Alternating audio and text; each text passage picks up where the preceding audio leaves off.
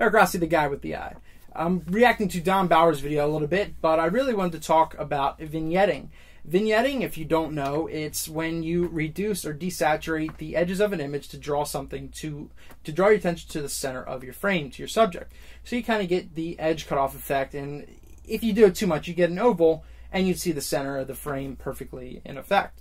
And there's two kind of vignettes. There's a black one and a white one. And uh, a lot of photographers, and I would even say never, ever, ever, ever, ever, ever, ever, never, never, never, never use a white vignette. Why? Ah, to be blunt, it just looks extremely crappy. It's just not good. You see the white vignette and you're just like, ew. And there's a lot of people out there that do that, and I don't know why. We got to get away from that trend. Well, for whoever does it. But besides never ever, don't use a white vignette. Besides never using a white, never using a white vignette, use a black one. And black vignettes are good. They're great for portraits, they're great for weddings, they're great for a lot of stuff. But it comes to the point to where people overdo them, and that's and that's one of the problems a lot of people don't understand is how do I vignette? How what's overdoing? Simple. The whole point in using a vignette is, as I said, just to draw the attention, boom, directly to the center. And that's by using the slider just a little bit.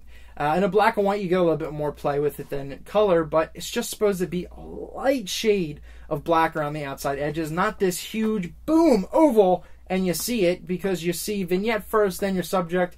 You don't want that. Keep it simple, something light.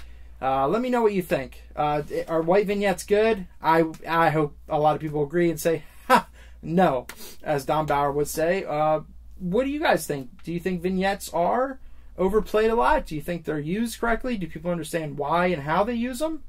Let me know what you think. Eric Rossi, the guy with the eye. What do you think about vignettes? Please subscribe, like this video, send it around, enjoy.